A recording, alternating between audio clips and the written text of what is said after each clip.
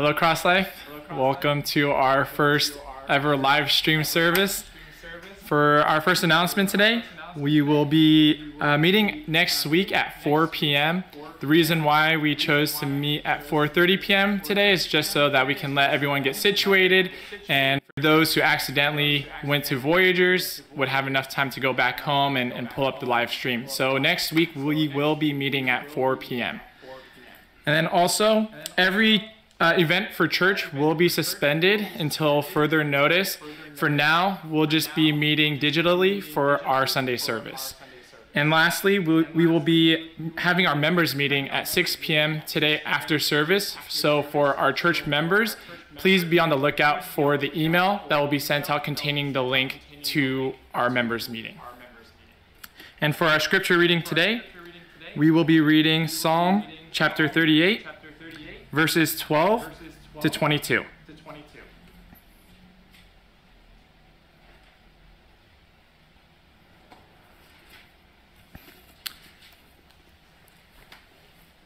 Starting at verse 12 Those who seek my life lay their snares, those who seek my hurt speak of ruin, and meditate treachery all day long. But I am like a deaf man, I do not hear, like a mute man who does not open his mouth. I have become like a man who does not hear, and in whose mouth are no rebukes. But for you, O Lord, do I wait. It is you, O Lord, my God, who will answer. For I said, Only let them not rejoice over me, who boast against me when my foot slips. For I am ready to fall, and my pain is ever before me. I confess my iniquity, I am sorry for my sin, but my foes are vigorous, they are mighty, and many are those who hate me wrongfully. Those who render me evil for good accuse me because I follow after good. Do not forsake me, O Lord. O my God, be not far from me. Make haste to help me, O Lord, my salvation. Join me in prayer. Lord, may we just trust in you during this time of uncertainty, and may we recognize and remember that you are sovereign over all things. And so that, God, we can trust in you because of that.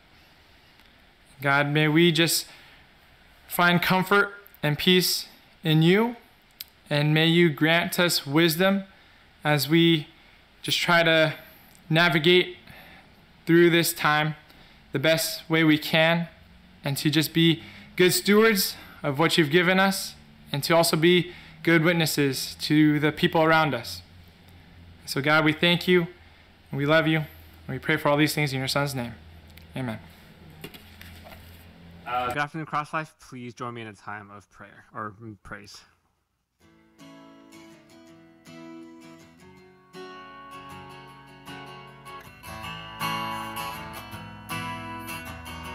Tis so sweet.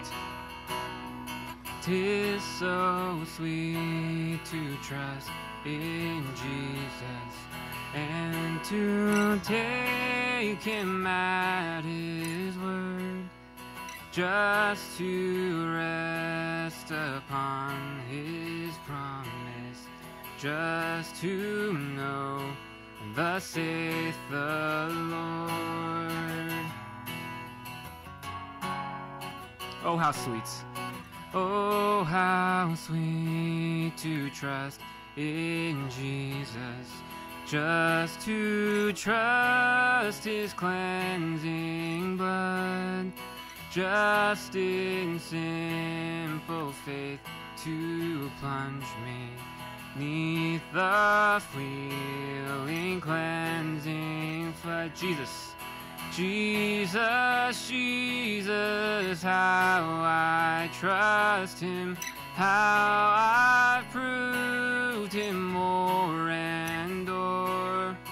Jesus, Jesus, precious Jesus, oh, for grace to trust him more.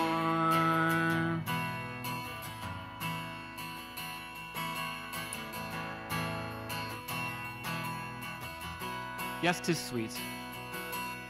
Yes, tis sweet to trust in Jesus, just from sin and self to cease, just from Jesus simply taking life and rest and joy and peace. Jesus, Jesus, Jesus, how I trust Him, how I proved Him more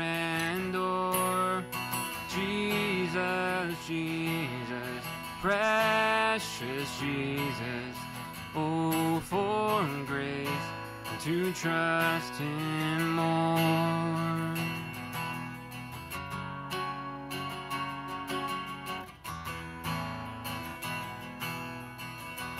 I'm so glad. I'm so glad I learned to trust Him. Precious Jesus, Savior, friend. And I know that He is with me, will be with me to the end. Jesus.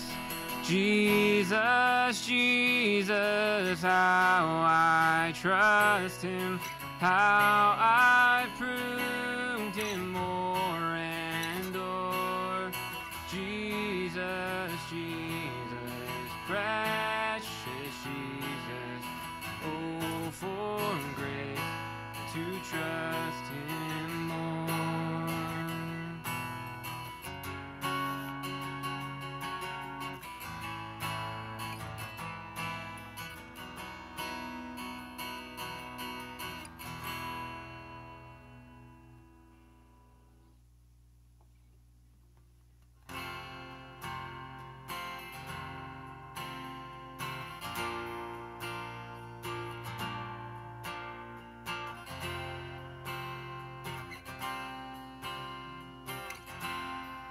God sent his son. God sent his son. They called him Jesus. He came to love, heal,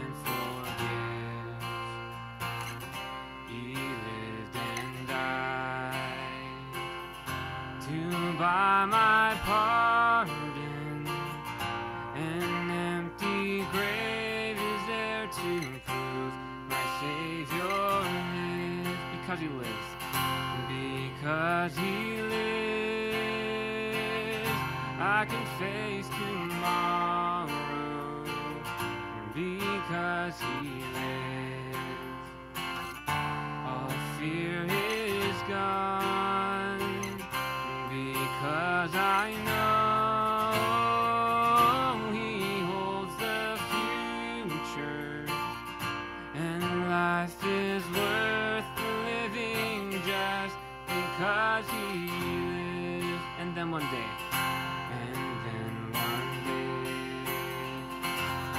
I'll cross the river.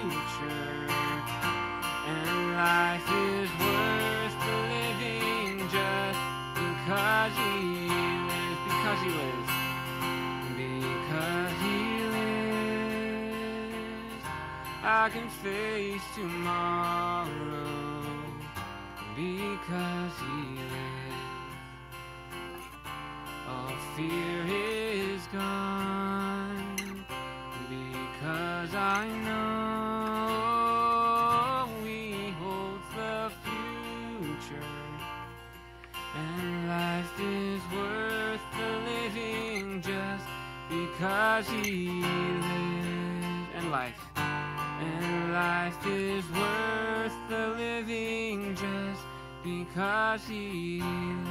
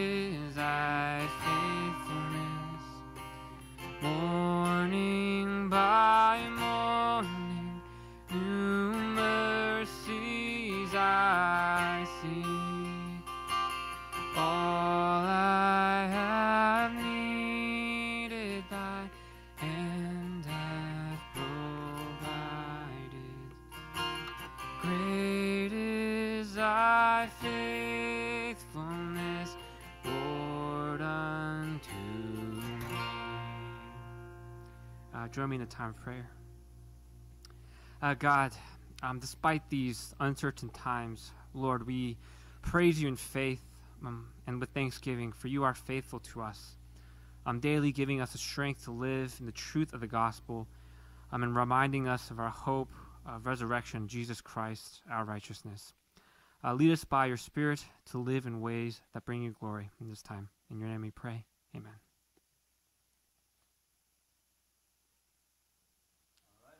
Good evening, Cross Life. Uh, am I on? Am I on? Okay. Um, good evening. This is uh, pretty weird. I'm talking to a camera right now. I Got a few guys in the room right now. Um, but we are grateful that uh, we just have an opportunity uh, and the means to actually worship together digitally, at the very least. And um, it's really by God's grace, even in, the, in all this craziness. But, uh, you know, before we, uh, before we begin, uh, join me in time prayer. Dear God, um, even though all this is happening, uh, we know that you are sovereign over um, this pandemic. Nothing happens apart from your will. We're also reminded of your great power and your omnipotence as within a span of a few months you have brought the entire world down to its knees.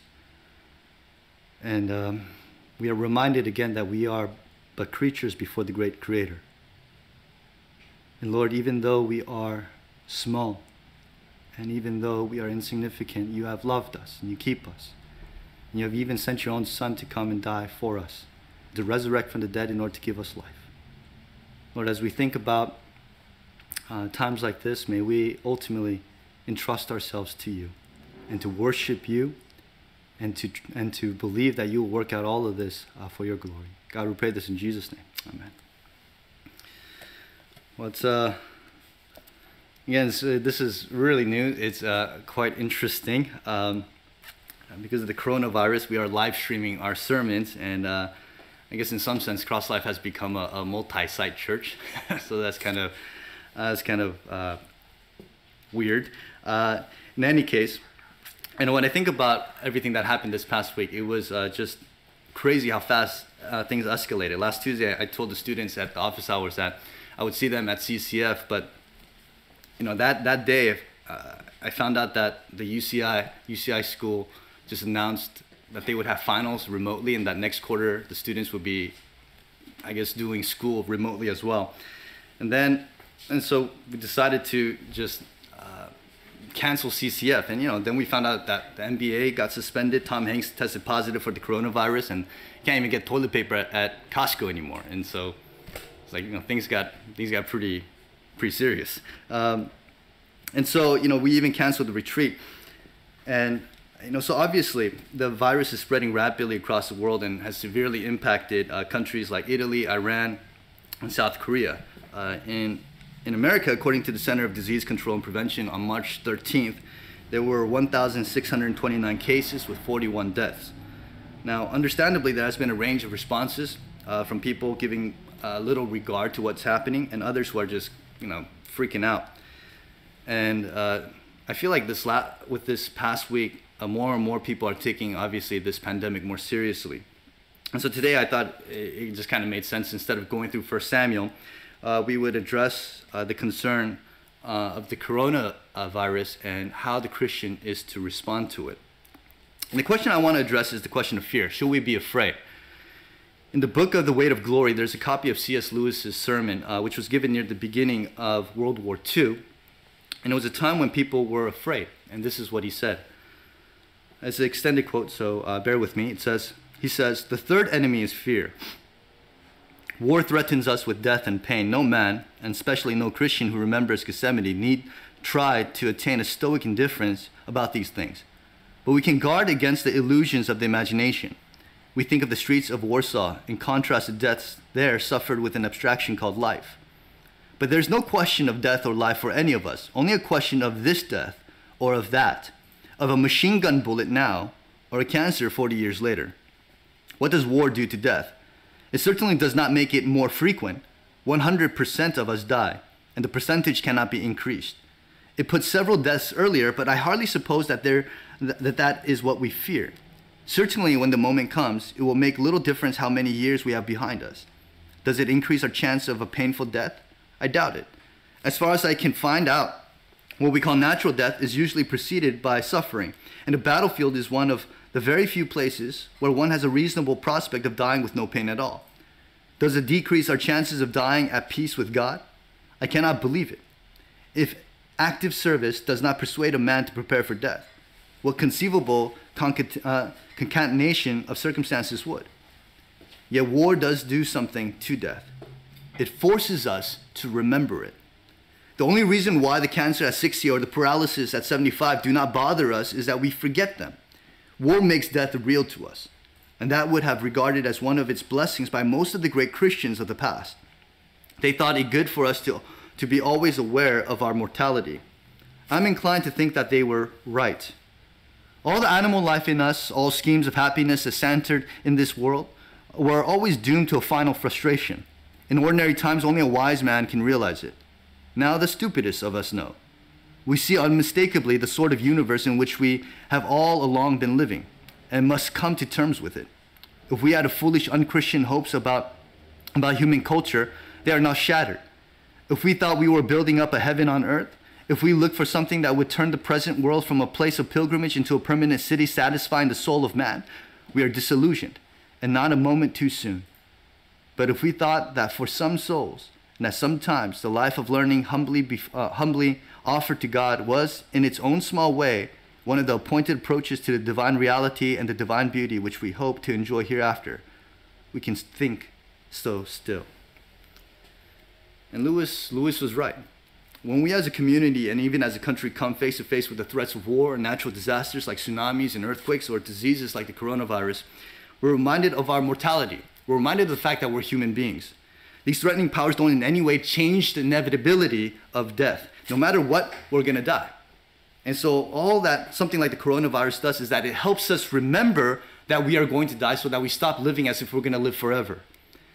So, going back to the question, should we be afraid? And the answer is yes. Apart from God, we should be afraid. It's logical and rational to embrace fear and worry when you're reminded of death, so that in response, you might do what you need to do in order to preserve your life. Think about this. How bizarre would it be if someone stood in front of a tornado and was not afraid? He didn't care to save his life, didn't think that he had to run away. We will label that man as somebody who is disconnected from reality, somebody who is crazy. It is reasonable and rational to have a fear that increases in correspondence with the escalation of danger. And if that danger is death, then it makes sense for people to give themselves over to frenzy, despair, and anxiety. And really, that's the fundamental fear behind the coronavirus. It's not the prospect of getting sick, but it's the prospect of getting sick and not recovering. So, whereas some people might label the overly fearful as being disconnected from reality, in actuality, the fearful have never been so connected to reality as they are now. The reality that they are a mortal people. And It is terrifying to realize that we are destined to die. Lewis said, all the animal life, like he said, all the animal life in us, all the schemes of happiness that's centered in this world, we're always doomed to a final frustration, always doomed to a final frustration. In ordinary times, only a wise man can realize it. Now, the stupidest, stupidest of us know. And so, many of us know. But the reason why the sobering realization of death is good is because we begin to approach our lives in a way that is profound and not superficial. We don't go we don't go around living la-di-da about life or complain about the uh, trivialities of first world problems or start building our own kingdom in this world as if we're going to live forever on this earth. Instead, we begin to ask the questions about life and death. And that's why Solomon in Ecclesiastes chapter 7 verse 4 he says, "The heart of the wise is in the house of mourning, but the heart of fools is in the house of mirth." See, when we see death, we begin to ask the meaningful questions about life. Whether there is such a thing as purpose. Is there meaning to all of this? Whether there is life beyond this life, whether or not God exists. And in pursuing the answers to these questions, we come to understand actually the nature and the reason for death itself. The scriptures teach that we are not a product of time and chance, but we have been created by God as the image bearers of God for the purpose of glorifying God for all of eternity. But it was sin that blinded us from our created purpose and corrupted the image of God within us, killing us spiritually. And it is this spiritual death that we have within us because of sin that leads to physical death. The reason why we die is because we're spiritually dead on the inside. The reason why we are spiritually dead is because of sin. So as terrifying as the problem as a problem of disease and death might be, they're actually just symptoms of a real problem. In Romans chapter 5 verse 12 to 13, it says, Therefore, just as sin came into the world through one man, and death through sin, and so death spread to all men because all sin. For sin indeed was in the world before the law was given, but sin is not counted where there is no law. The Word of God says that the reason why there is death in this world is because of sin. When Adam ate from the tree of the knowledge of good and evil, and he violated the commandment of God, sin entered into this world, corrupting everything, including Adam's soul and his posterity. And it's that spiritual corruption that has led to the physical decay of everything in this world. Romans chapter 8, verse 20 to 22 says, For the creation was subjected to futility, not willingly, but because of him who subjected it in hope, that the creation itself will be set free from its bondage to corruption and obtain the freedom of the glory of the children of God. For we know that the whole creation has been groaning together in the pains of childbirth until now. It's not only humanity that have fallen, but all of creation. And this, look, this is not theoretical. This is actual. This is something that we have experienced in, as a human race. In, in, in two, 2010, an earthquake hit Haiti, killing over 200,000 people. In 2011, a powerful tsunami hit Japan. You guys, some of you, I think majority of you guys mem- remember that, killing over 15,000 people and causing the meltdown of nuclear reactors. In 2020, right now, the coronavirus has spread across nearly every continent. The natural disasters and epidemics that have devastated and scourged the world testify to the deep brokenness of creation, a brokenness that finds its genesis in sin. Now, this doesn't necessarily mean that God is punishing people for their personal sins with disease or physical handicaps or natural disasters. So you can't look at the coronavirus and think, no, God's doing all of this in order to judge the world for their unbelief. You can't, you can't think that. In John chapter 9, verse 2 to 3, it says, and his disciples asked him, Rabbi, who sinned, this man or his parents, that he was born blind? Jesus answered, It was not that this man sinned or his parents, but that the works of God might be displayed in him. There are times when God punishes individuals and nations with plagues for disobedience, but we cannot automatically conclude that when a person suffers, he's done some wrong things, he's sinned against God. What we can say for certain, however, is that the pain that we suffer is the result of the brokenness as resulted from Adam's transgression against the commandments of God. That will be true always, regardless of time or situation.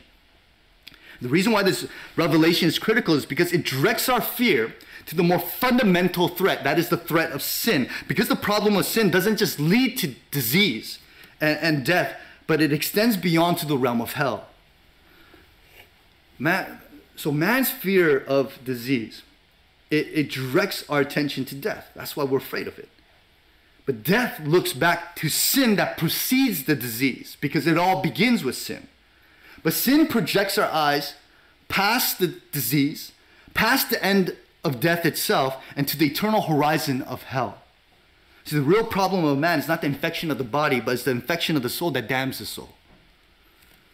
So the horrors of the coronavirus is meant to point us to the incomprehensible terrors of hell that await humanity beyond the borders of death.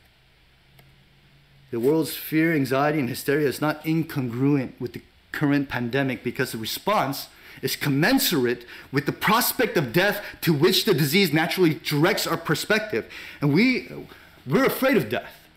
We're all afraid of death. But the unsettling reality is that there is a power even before which death trembles, a power that would elicit a fear that is more paralyzing, and anxiety that is more unstable, and hysteria that is more chaotic than whatever the people are experiencing right now. That power is hell. So, from a biblical perspective, we realize that the world is not desperate enough. The world is not depressed enough. The world is not scared enough about the product of sin because the final product of sin is not death, it is the hell to which death leads. But for this very reason why the Christian can rejoice in times like this. Our experience of suffering like the world directs our attention forward to death. And that's actually spiritually good for some of us who get caught up in the everydays of life or we try to build up our kingdom here. It's, it's good for us to remember that we're not going to be here for all of eternity. Now, the reality of death, it guides our perspective back to the problem of sin, which is the origin, again, of all this chaos. And sin lead us forward again past the suffering and even death so that we might be able to see the realities of hell. But hell directs our focus and our perspective up to God, who is in control of all of these things. And we entrust ourselves to God, who will redeem us from all this corruption, including sin, suffering, grave, and damnation. Our Creator, in His great love for us, He sent Jesus Christ into this world and it was Jesus who bore our sins upon the cross. So he suffered the torments and the anguish of this broken world and simultaneously endured the outpouring of divine wrath that should have been poured out upon us. And then he finally gave himself over to death, humanity's undertaker who should have buried our souls in hell. Jesus was sacrificed so that we might be forgiven of our sins and delivered from the wrath of God. But three days later, he resurrected from the dead. and he inaugurated a new creation, a new creation that begins with the image bearers of God. A spiritual life, a new creation of a spiritual life that we have in union with the resurrection of Jesus Christ. And this new life that we have is freed from the corruption of sin.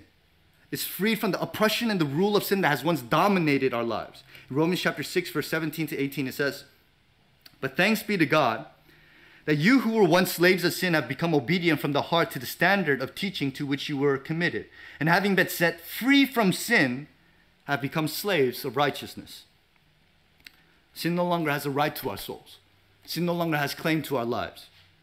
But the message of the gospel goes even further and it says that the fulfillment of the spiritual resurrection is a physical resurrection from the dead unto a new life, an eternal life that is not only freed from the power of sin, but is freed from the presence of sin. In Ephesians chapter 5, verse 27, it says, So that he might present the church to himself in splendor, without spot or wrinkle or any such thing, that she might be holy and without blemish. But the resurrection of the believer not only transforms the individual, but it transforms the entire world. It transforms creation. Take your Bibles and turn with me to Romans chapter 8. Romans chapter 8, let's read together verse 18 to 22. Romans chapter 8, verse 18 to 22.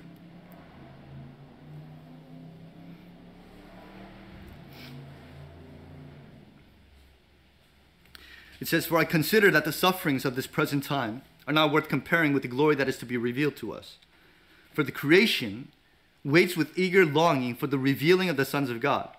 For the creation was subjected to futility, not willingly, but because of him who subjected it, in hope that the creation itself will be set free from its bondage to corruption and attain the freedom of the glory of the children of God.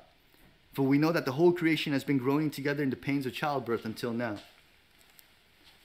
In the same way that the fall of humanity plunged the world into corruption, so the redemption of humanity lifts the world into freedom. Our resurrection from the dead will lead to the resurrection of the world.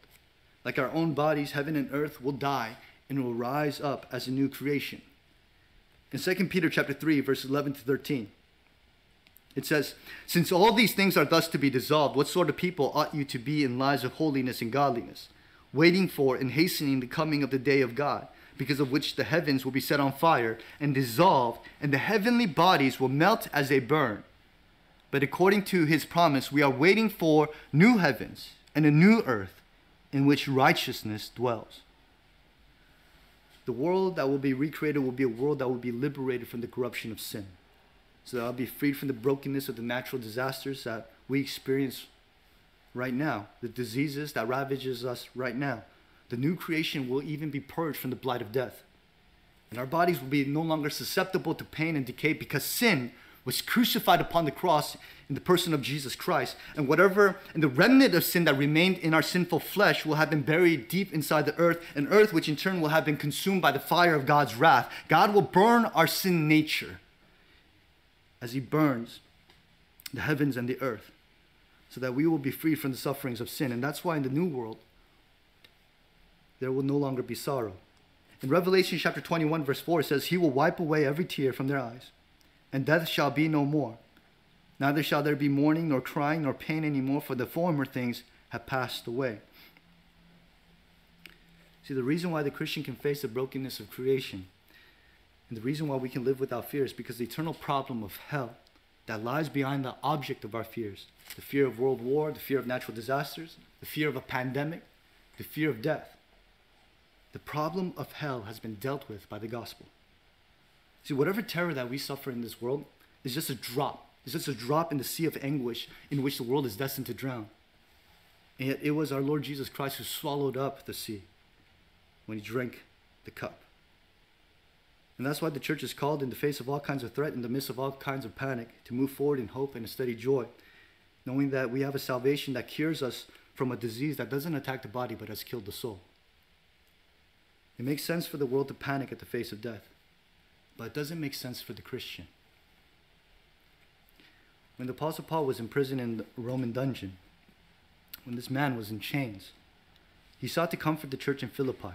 And he said this in Philippians chapter 3, verse 17 to 21. Brothers, join in imitating me, and keep your eyes on those who walk according to the example you have in us. For many of whom I have often told you and now tell you, even with tears, walk as enemies of the cross of Christ. Their end is destruction. Their God is their belly, and they glory in their shame with minds set on earthly things. But our citizenship is in heaven, and from it we await a Savior, the Lord Jesus Christ, who will transform our lowly bodies to be like his glorious body by the power that enables him even to subject all things to himself. See, this is our hope, and this is our joy. No matter what the circumstances might be, we can rest in the power of the gospel. Whether we live in persecution against the faith that we hold to, or whether we live in the turmoil of natural disasters, we set our eyes on the gospel of Jesus Christ, which has not only saved us from sin, but will save us from this fallen creation. And so in the next few verses, Paul says from verse 4 through 7, chapter 4, verse 4 through 7, Rejoice in the Lord always, always. I will say, rejoice. Let your reasonableness be known to everyone. The Lord is at hand. Do not be anxious about anything, but in everything by prayer and supplication with thanksgiving, let your requests be made known to God. And the peace of God, which surpasses all understanding, will guard your hearts and your mind in Christ Jesus. So, going back to the question, should we be afraid? The answer is no, because the problem of sin has been dealt with by our Lord Jesus Christ. That's the comfort that we have as Christians. Now, our response to the coronavirus shouldn't just shift our perspective inwards so that we only think about ourselves and how we need to deal with it ourselves, but it should, it should um, shift our perspective outward so that we begin to care about those in the community, those within the church. As I said before, natural disasters and viral outbreaks like this cause people to think about things that really matter. I mean, you can't even distract yourself with the NBA because it's suspended can't even go to Disneyland. It's you know it's closed down, um, and so as frightening as this whole thing might be for some people, it presents an opportunity for the church, for us to minister to the world that is physically and emotionally um, ready for something like this, and to point them to the gospel of Jesus Christ, to show them that the real problem is not the problem of a, of a virus, but the problem of sin. That the real hope that can be available to them is not the hope of a recovery, but the hope of a resurrection. Those who have been apathetic may finally wake up to the fact that it makes sense for them to care about questions like the meaning of life as they experience the ultimate meaninglessness of their education and career as their schools shut down or as the economy suffers. Or those who have been hostile to the faith may finally realize that the object of their contempt may be the only hope that they have in the face of dark oblivion. From 1846 to 1860, there was a cholera pandemic that ravaged the world and um, pulled up an excerpt from Wikipedia, so it's not deep research on my part. so it says this. Third cholera pandemic from 1846 to 60 was the third major outbreak of cholera originating in India in the 19th century that reached far beyond its borders, which researchers at UCLA believe may have started as early as 1837 and lasted until 1863. In Russia, more than 1 million people died of cholera. In 1853 to 1854, the epidemic in London claimed over 10,000 lives, and there were 23,000 deaths for all of Great Britain. This pandemic was considered to have the highest fatalities of the 19th century epidemics. Now, in Spurgeon's autobiography, he gives an account of his experience with this outbreak in London in 1854. And he personally ministered to the sick. He went uh, to the houses of his congregation members in order to care for them, in order to pray for them, in order to be there for them. Well, one day at 3 o'clock in the morning, he got a call to make a visitation.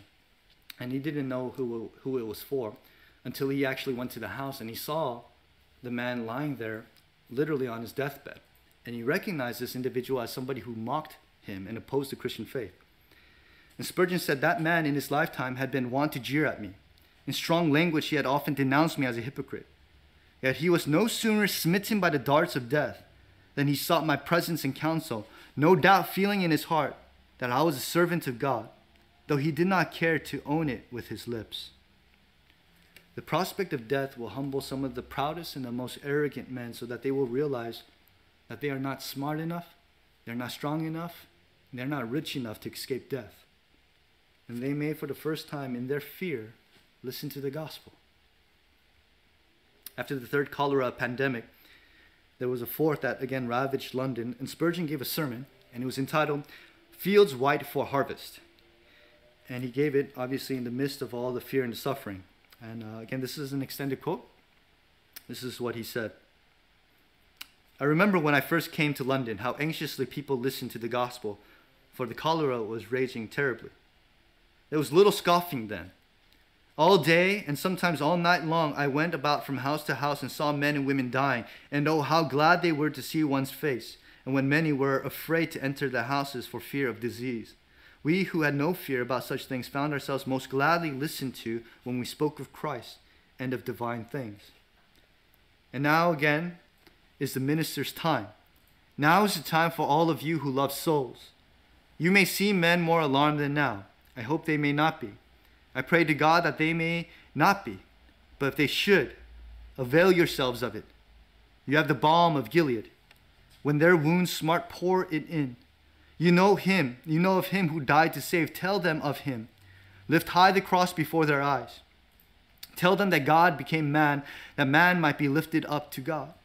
Tell them of Calvary and its groans and cries and sweats and sweat of blood. Tell them of Jesus hanging on the cross to save sinners. Tell them that there is a life for. a Look at the crucified one. Tell them that he is able to save to the uttermost of uh, uttermost all of uh, all them who come unto God by him. Tell them that he is able to save at the eleventh hour, and to say to the dying thief, Today shall you be with me in paradise. Church, this is our mission. Okay, this is our mission.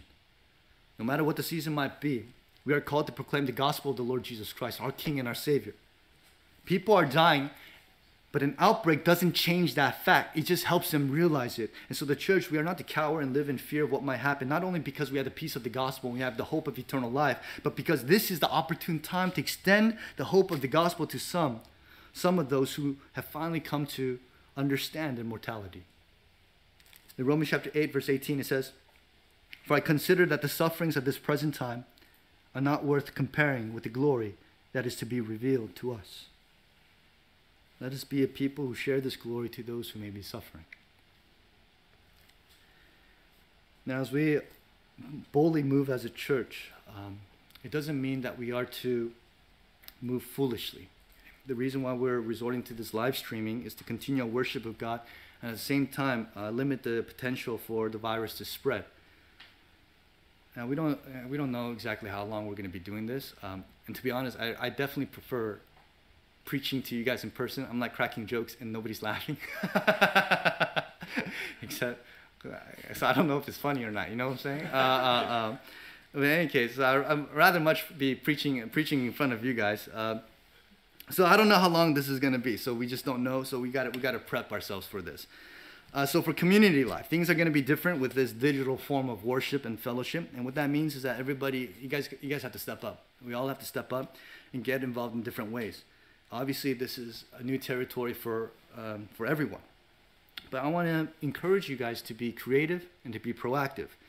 So continue having your prayer meetings, continue having your accountability, but do it through FaceTime or something. Um, you know, build relationships with your Christian roommates. Maybe up until this point, you just kind of had a, um, a very superficial relationship with them. You just kind of coexisted with, under the same roof. And what better time than now to deepen those relationships and to forge a brotherhood or sisterhood? Even though this whole social distancing thing kind of kind of makes things weird and um, difficult for us, um, let it be an opportunity for us to step up and take ownership, even more ownership of our church. And I, I know many of you guys have already done that, and I'm really encouraged and thankful for that. I really wish I could see you guys face to face. Now, with regards to people both inside and outside the church who may have um, become infected, we are called to love our neighbors even if it comes with risks.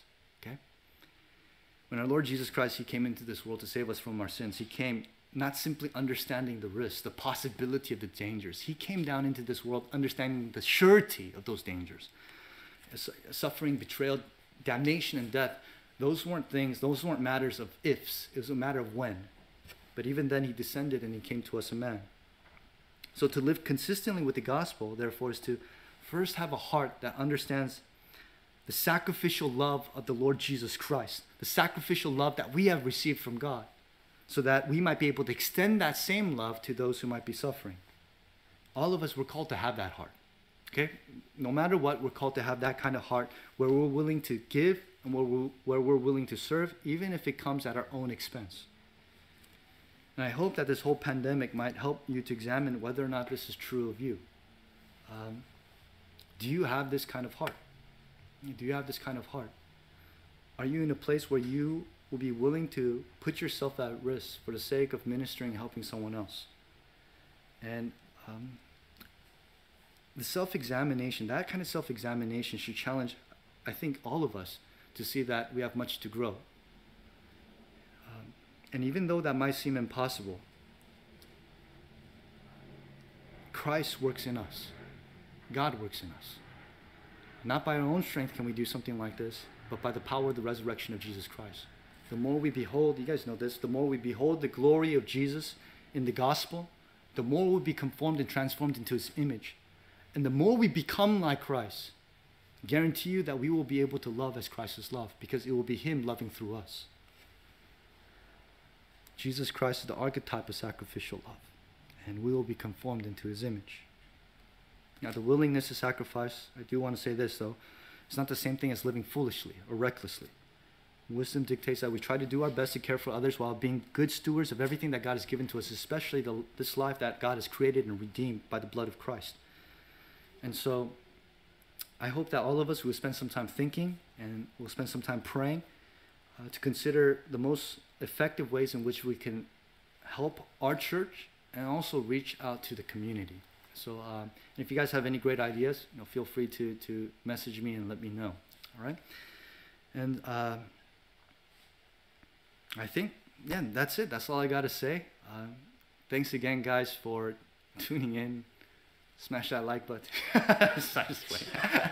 I'm just playing. And let me let me pray for us, and we'll uh, I'll ask Brian to uh, come and close us in the time of worship. Let's pray. Dear God, thank you again for uh, the time that we have to to worship you. Um, God, it's it's so good that we can even come together in this uh, unconventional way uh, through media, but that is a gift from you. And Lord, I pray for our congregation that you will continue to comfort them, uh, comfort them, and help give them perspective of the gospel of Jesus Christ that has uh, taken care of the problem of sin and even delivered us from the power of hell itself. So that we might be able to move forward on this earth with great confidence that we have a hope that transcends whatever we have in this world, even if that is our own lives. And Lord, give us um, uh, a heart of Christ. Lord, uh, we know that we cannot minister as you by our own strength, but we can do it by Christ, the power of Christ. So would your grace be upon us. Thank you again for your great love. Thank you for your mercies. And Lord, would you take all the glory for yourself? We pray this in Jesus' name.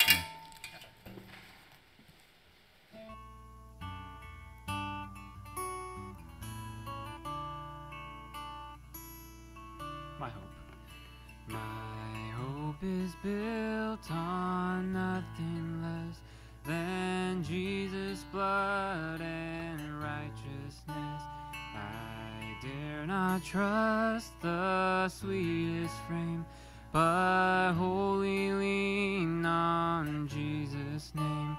On Christ the solid rock I stand, all other ground is sinking sand. All other ground is sinking sand.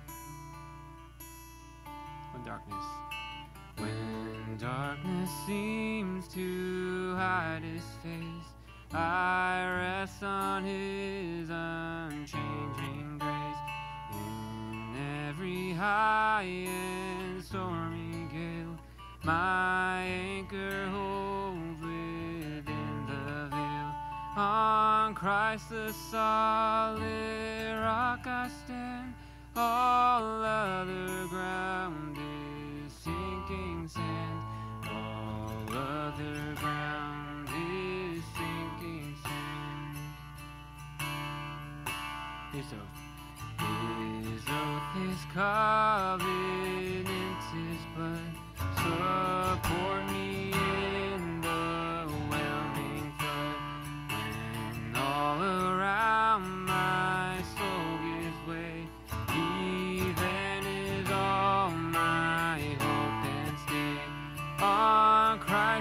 solid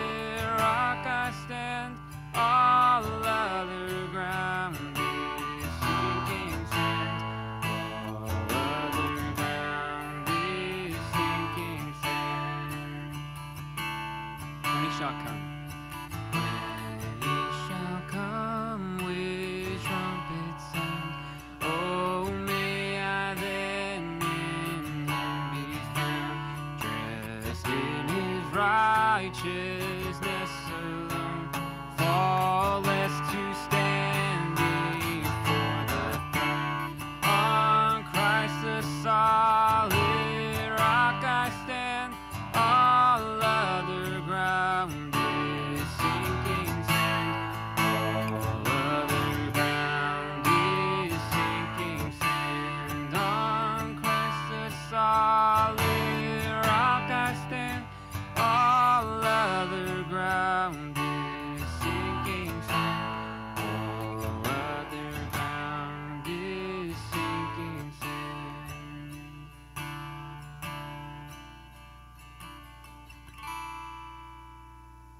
me in a time of benediction.